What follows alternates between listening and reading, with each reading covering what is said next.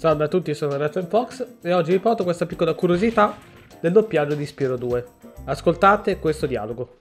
Quale luce sfolgora da quella finestra lassù?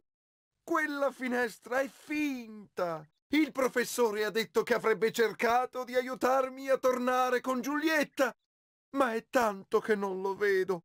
Chiaramente uno si chiede ascoltando questo dialogo come faccio una finestra ad essere finta. Ebbene, questo qua è un errore, tra virgolette, di traduzione, è più colpa di Insomniac che del traduttore italiano, adesso vi spiegherò perché. In inglese dice That window up there dummy. Purtroppo Insomniac ha scordato di scrivere la virgola prima di dummy e quindi il traduttore ha pensato che dummy fosse riferito alla finestra e non a Spiro che effettivamente non può neanche rispondere. Per inteso, dummy può essere sia in caso di una persona scemotto, stupidotto, sia, in caso appunto di un oggetto, finto. Nella remastered Activision ha ricordato di mettere la virgola, correggendo di conseguenza anche la traduzione del doppiaggio italiano. Oh, ma quale luce irrompe da quella finestra?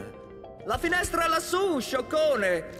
Il professore ha detto che mi avrebbe aiutato a tornare con Giulietta, ma è un pezzo che non lo vedo.